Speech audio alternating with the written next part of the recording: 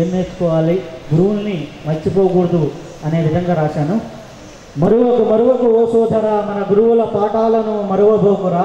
పాడరా పాడరా వెలుగెత్తి పాడరా మన గురువుల ఖ్యాతిని గలమెత్తి చాటరా.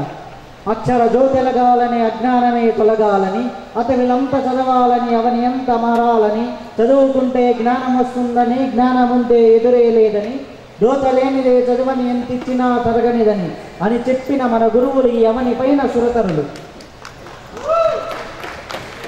వేదవ్యాసుడు ఆది గురువై భారతాన్ని బోధించరా? శ్రీరాముడికి విశ్వామిత్రుడు గురువై నడిపించినాడురా. వాయుపుత్రుడికి సూర్యుడు గురువై వేదములే నేర్పించరా?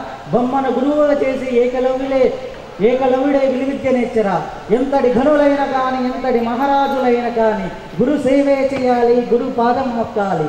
ఎంతటి ఘనులైన కాని ఎంతటి మహారాజులైన కాని గురు సేవే చేయాలి గురు పాదం మొక్కాలి. వివేకానందులు పత్రిజీలు లాంటి ఎందరో జగద్గురువులు కులమత భేదాలు వద్దని లౌకిక వాదమే ముద్దని కులమత భేదాలు వద్దని లౌకిక వాదమే ముద్దని దేశ భౌతిక విద్యార్థుల చదివేనని విద్యార్థుల భౌతిక విజ్ఞాన బాట వేసేది గురువేనని సెలవిచ్చిన మహనీయులను మనసారా స్మరిద్దాం.